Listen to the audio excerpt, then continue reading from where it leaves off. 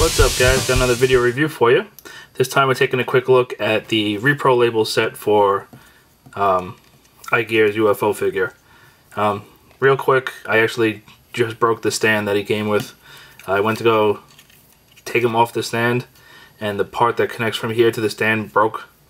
It was held on by the like tiniest itty bitty bitty bitty thin piece of plastic and it's been fine for you know I've taken him off five six seven times over the course of weeks and it was fine and then I just pulled it straight out and as soon as I as soon as I touched it I felt it was loose and I knew that was it.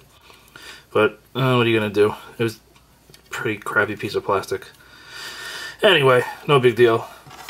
Um, so yeah so just like Hench I got the Repro label set for this guy. I wanted to show it off. So first of all you can see the split Autobot logo on the top there. One goes on each side of the leg and then it forms the full symbol. Um, also, we got these little gold spots. There was actually these two on each side were yellow. And now we have gold all the way around on each side. Pretty cool. Um, we got some alien writing. That's just little accents on the hinges up here.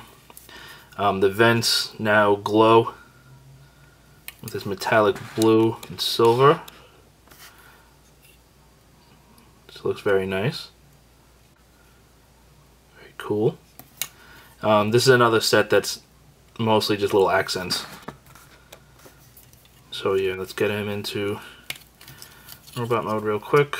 He's a fast one, so all of a sudden this foot does not want to come out.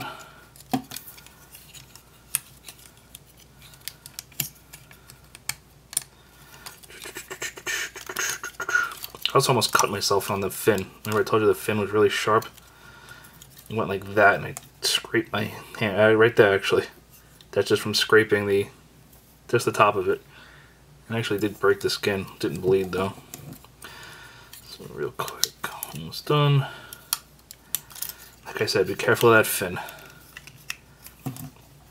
So yeah, there we go. He's in robot mode. So as you can see, the only difference now in robot mode, besides you can see the fins on the front of his legs, is the chest. So if we just take a quick look at the chest, um, it did come with two sets of stickers, the G1 Toy Accurate call it stickers and the Show Accurate stickers.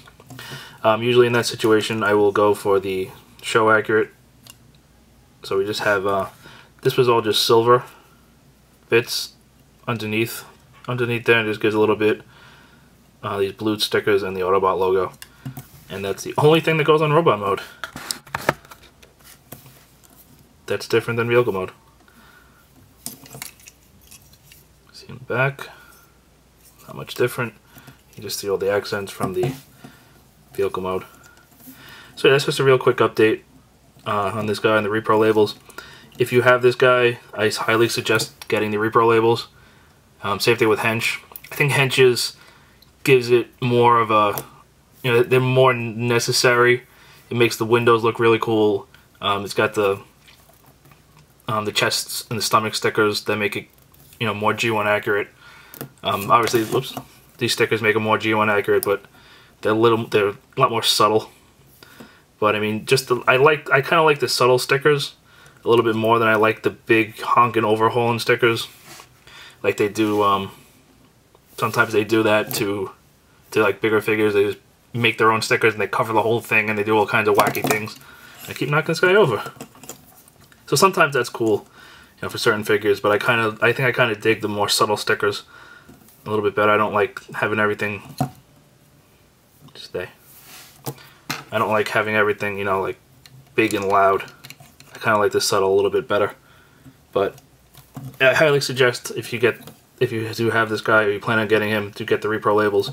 Um, he also does come with Seasprays stickers on the same sheet, um, but I don't own Seaspray. I have Make Toy, Make Toys Seaspray, so I'm going to be sending those stickers off to a friend, uh, so he's going to be getting those.